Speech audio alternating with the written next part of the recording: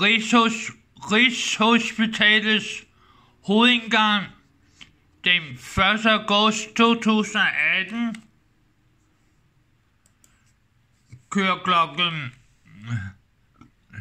606 kører linje 3 mod Kongens Enghave Valbyparken.